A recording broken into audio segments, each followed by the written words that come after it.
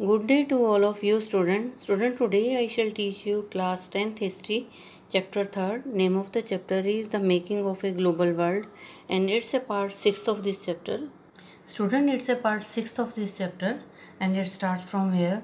The inter war economy जो युद्ध हुए थे स्टूडेंट उस समय की इकानमी के बारे में है the first world war 1914 to 1918 was mainly fought in Europe student, जो पहला विश्व युद्ध हुआ था, वो 1914 और 1918 के बीच में हुआ था यूरोप में।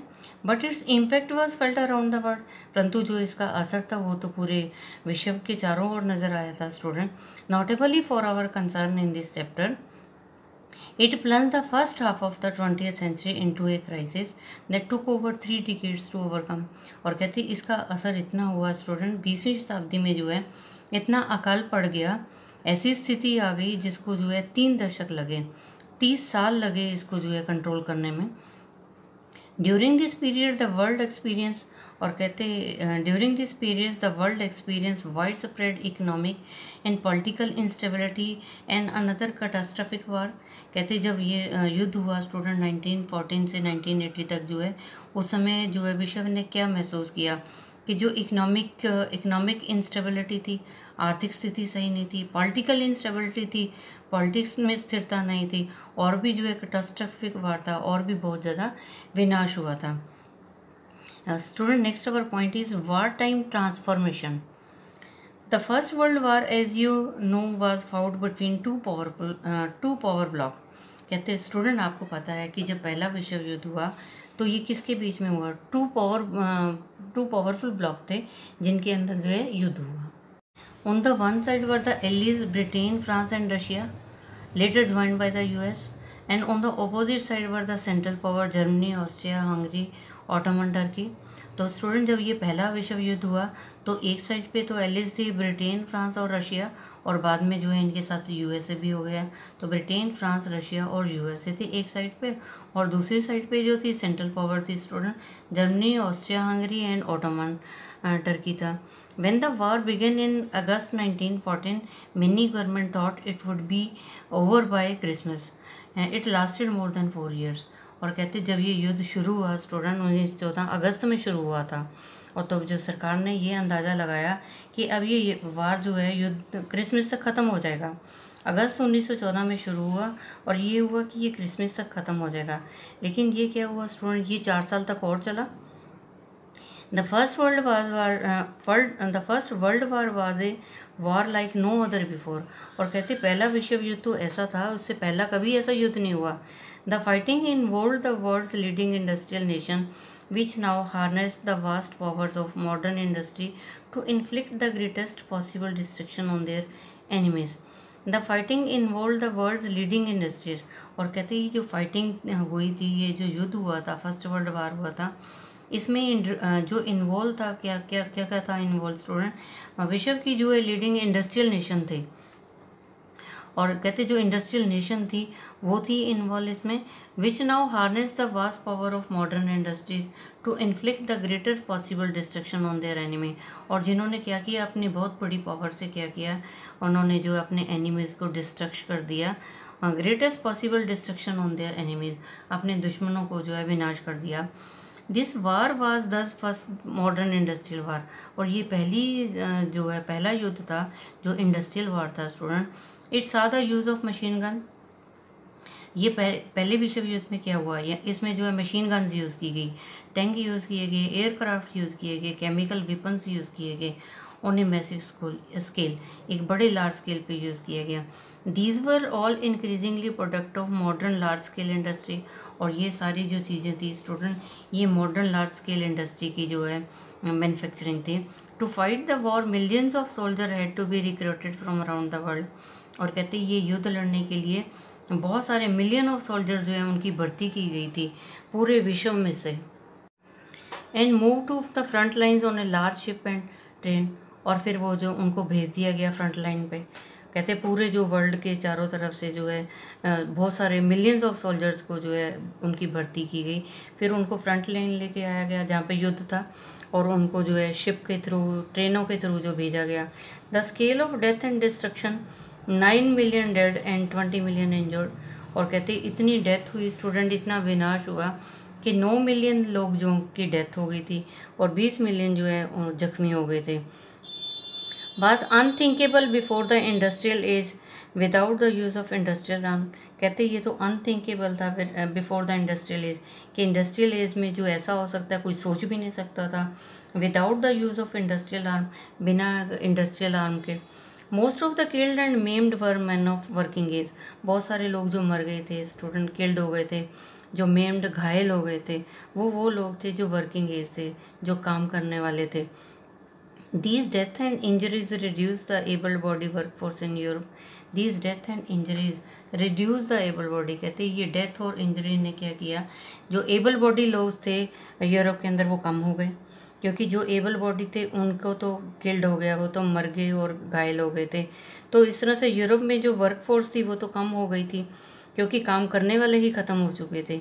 With fewer numbers within the family household incomes declined after the world कहते एबल बॉडी क्या थे कम हो गए थे। With with few members within the family और परिवारों में तो अब कुछ ही मेंबर रह गए थे क्योंकि बाकी तो चले गए थे वहाँ पे युद्ध करने के लिए। Household income declined after the war और युद्ध खत्म हो गया। उसके बाद जो घरों की इनकम थी वो कम हो गई। During the war industries were restructure to produce war related goods and during the war industries were restructured फिर कहते युद्ध के टाइम पे भी इंडस्ट्रीज़ को रीस्ट्रक्चर किया गया, दोबारा से बनाया गया कि उनमें रिलेटेड चीज़ें जो है प्रोड्यूस की जा सकें। Entire societies were also reorganise for war और पूरे सोसाइटी को जो है, दोबारा से रीऑर्गेनाइज किया गया युद्ध के लिए। As man went to battle आदमी लोगों को तो दोबारा से युद्ध में भेज दिया गया। And women stepped in the undertake jobs और औरतें जो है घर में काम करने लगी। That earlier only man were expected to do जैसे कि पहले के आदमी जो है घरों में करते थे। As man went to battle आदमी लोग तो युद्ध में चले गए और औरतें जो है वो stepped in to undertake jobs और जो है वो वो काम करने लगी, नौकरी करने लगी। That earlier only man were expected to do जो आदमी बाहर जाके लोग काम करते थे, वो औरतें काम करने लग, उन्होंने, औरतों ने काम करना शुरू कर दिया अपना घर चलाने के लिए। Student here you can see image also workers in a munition factory during the first world war production of armament increased rapidly to meet war demands ये देखिए आर्मामेंट्स जो है इंडस्ट्रीज़ में जो है हथियार जो है तैयार किए जा रहे हैं और इसलिए कि जो युद्ध के अंदर इनकी हथियारों की डिमांड है उस डिमांड को वो पूरा कर सकें The war led to snapping of economic link between some of the world's largest economic powers, which were now fighting each other to pay for them. The war led to the snapping of economic links और युद्ध की वजह से क्या हुआ student snapping of economic link जो economic link थे, वो ब्रेक हो गए. स्नैपिंग मीन्स ब्रेक उनके जो आपस में आर्थिक जो लिंक बने हुए थे, वो टूट गए. और ये किन में थे? Between some of the world's largest economic powers और कुछ जो है लार्जेस्ट इकोनॉमिक पावर्स थे, उनके अंदर जो है, उनके आपस के जो है रिलेशन जो है स्नैप हो चुके थे, टूट चुके थे. युद्ध की वजह से.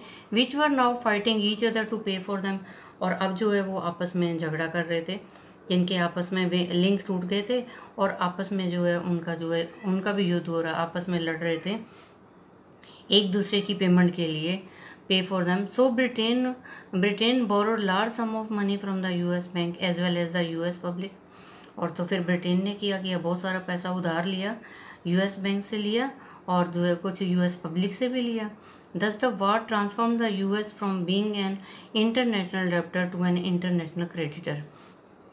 तो इस युद्ध से क्या हुआ स्टूडेंट ट्रांसफॉर्म क्या हुआ? जो यूएस था transform the US from being an international debtor US पहले तो ये था स्टूडेंट इंटरनेशनल डेप्टर था. इंटरनेशनल डेप्टर था और उसके बाद क्या हुआ? Into an international creditor बन गया वो. और यूएस जो है था, पहले तो इंटरनेशनल डेप्टर था, और पहले उसके ऊपर बहुत जो है कर्ज था। फिर उसके बाद वो इंटरनेशनल क्रेडिट बन गया। In other words at the war's end the U S and owned more overseas assets than the foreign government and citizen owned in the U S A in the U S in other words दूसरे शब्दों में हम ये कह सकते हैं student at the war's end दूसरे शब्दों में हम ये कह सकते हैं कि जब युद्ध खत्म हुआ, तब the U S and its citizen owned more overseas assets दूसरे शब्दों में हम ये कह सकते हैं कि जब युद्ध खत्म हुआ तो यूएस और जो उसके नागरिक थे ना, उनके पास बहुत सारे ओवरसीज़ असेट्स थे। बहुत सारे असेट थे देन द फॉरेन गवर्नमेंट इतने फॉरेन गवर्नमेंट के पास नहीं थे जितना यूएस गवर्नमेंट के पास थे और इनके नागरिक के पास थे ओन्ड इन द यूएस तो यूएस के जो गवर्नमेंट थी उनके पास भी और जो उनके जो नागरिक थे उनके पास भी। Student our next point is post war recovery युद्ध के बाद जो है क्या रिकवरी हुई? Post war economic recovery prove difficult कहते युद्ध के बाद तो ये रिकवरी करनी जो है बहुत मुश्किल थी। Britain which was the world's leading economy in the pre war period in particularly faced a prolong crisis कहते ब्रिटेन जो था स्टूडेंट, वो क्या था वर्ल्ड्स लीडिंग इकॉनमी था प्री वॉर पीरियड युद्ध से पहले जो था, ब्रिटेन जो था, एक वर्ल्ड लीडिंग इकॉनमी था। पूरे विश्व पे इसकी जो है इकॉनमी चलती थी। In a particular faced a prolong crisis और अब तो इसको जो है, यहाँ पे जो है, अकाल पड़ गया था। इसको एक लंबे टाइम के लिए अकाल को जो है, झेलना पड़ा था। While Britain was preoccupied with war industries had developed in India and Japan while Britain was preoccupied with कहते ब्रिटेन में तो जो है प्री ऑक्यूपाइड हो गया, उस पर कब्जा कर लिया वार की वजह से। इंडस्ट्रीज़ है developed in India and Japan और इंडस्ट्री जो है, भारत में और जापान में जो है डेवलप करनी शुरू होगी। After the war Britain found it difficult to recapture its earlier position of dominance in the Indian market and to complete with Japan internationally और कहते युद्ध के बाद तो ब्रिटेन की ये हालत होगी स्टूडेंट उसको बहुत मुश्किल हो गया कि अपनी जो पहले वाली स्थिति थी, उसको दोबारा से भी रिकैप्चर करना, जो उसकी अर्लियर पोजीशन थी, उसको दोबारा से मेंटेन करना ब्रिटेन के लिए बहुत मुश्किल हो गया था। Of the dominance in the Indian market कि वो इंडियन मार्केट पे दोबारा से डोमिनेट कर पाए, ऐसा पॉसिबल नहीं था। या जो है, वो जापान पे जो है इंटरनेशनल लेवल पे कंपटीशन कर सके। कहते इंटरनेशनल लेवल पे ना तो वो जापान के साथ कम्पीट कर पाता था, ना इंडियन मार्केट को डोमिनेट कर पाता था Britain. Moreover to finance war expenditure Britain had borrowed liberally from the USA from the U S और more to finance the finance war expenditure और कहते जो ब्रिटेन का इतना एक्सपेंडिचर हुआ था, युद्ध के ऊपर इतना खर्च किया था, उसके लिए उसको उधार पैसा लेना पड़ा यूएस से। This mean that at the end of the war Britain was burden with huge external डेप्ट और इसका मतलब ये हुआ कि स्टूडेंट जब युद्ध खत्म हुआ तो ब्रिटेन के ऊपर तो बहुत सारा कर्ज था। The war had led to an economic boom that is to a large increase in demand production and employment the war had कहते युद्ध की वजह से क्या हुआ? इकोनॉमिक बूम हो गया। अचानक से आर्थिक जो स्थिति थी उसमें तेज़ी आ गई स्टूडेंट और इससे क्या हुआ? तो इंक्रीज इन डिमांड डिमांड बहुत बढ़ गई. प्रोडक्शन बढ़ गई एम्प्लॉयमेंट बढ़ गई. When the war boom ended और जब ये वार जो बूम जो है ख़त्म हो गया तो क्या हुआ? प्रोडक्शन कंट्रैक्टेड और प्रोडक्शन जो है ख़त्म हुई अनएम्प्लॉयमेंट बढ़ गई। At the same time the government production जो है कंट्रैक्ट होगी प्रोडक्शन कम होगी और अनएम्प्लॉयमेंट जो है ज़्यादा बढ़ गई। At the same time the government reduce bloated war expenditure to bring them into line with pre with peacetime revenue At the same time, government reduced bloated war expenditure to bring them into line with peacetime revenue तो फिर उसी समय जो है government ने क्या सोचा? Student जब उन्होंने देखा कि गवर्नमेंट जो है रिड्यूस ब्लॉटेड वार एक्सपेंडिचर जो वार के युद्ध के ऊपर जो खर्च हुआ था उनको तेज़ी से रिकवरी करने के लिए उन्होंने क्या किया? पीस टाइम रेवेन्यू रख दिया उन लोगों के ऊपर जो है। To bring them into line with peacetime revenue उनके ऊपर जो है टैक्स लगा दिया। This development led to huge job losses और इससे क्या हुआ? बहुत सारे लोगों की जो है जॉब चली गई। In nineteen twenty one one in every five of British worker was out of work और 1921 में क्या हुआ? ब्रिटिश वर्कर जो पाँच घर में मेंबर होते थे, उसमें in one in every five of British worker was out of work घर में से पाँच जो, पाँच जहाँ पे वर्कर थे, उसमें से एक जो है, घर में पाँच जो मेंबर हैं, उसमें से एक जो है अनएम्प्लॉयमेंट था। Deed angsty and uncertainty about work became an enduring part of the post war scenario और कहते पोस्ट वार में, युद्ध के बाद में तो क्या हुआ? लोगों में जो है असल में स्टूडेंट एंगस्टी चिंता होगी अनसर्टनिटी होगी काम की कि अब तो हमें काम मिलेगा नहीं तो किस तरह से अपना गुजारा करेंगे? Many agriculture economics were also in crisis और बहुत सारे जो एग्रीकल्चर इकनॉमिक्स थे, वो उनमें भी जो है अकाल पड़ गया था। Student consider the case of wheat producer अगर हम एग्जांपल ले लेते हैं कि जो गेहूँ लगाने वाले थे। Before the war eastern Europe was a major supplier of wheat in the world market युद्ध से पहले जो ईस्टर्न यूरोप था, वो तो सप्लाई करता था गेहूँ पूरे विश्व मार्केट में। When the supply was disturbed during the war wheat production in Canada America Australia expanded dramatically और कहते जब ये जो है सप्लाई कम होगी डिस्टर्ब होगी युद्ध के टाइम पे, पहले तो कहते यूरोप जो है वीट जो है, पूरे विश्व मार्केट में सप्लाई करता था। जब युद्ध हुआ तो ये जो सप्लाई डिस्टर्ब होगी डिस्टर्ब होगी, ये रुक गई। वीट प्रोडक्शन इन कनेडा तो उससे, उसके बाद में क्या हुआ? जो वीट प्रोडक्शन कनेडा में थी अमेरिका ऑस्ट्रेलिया में वहाँ पे ज़्यादा बढ़ने लगी।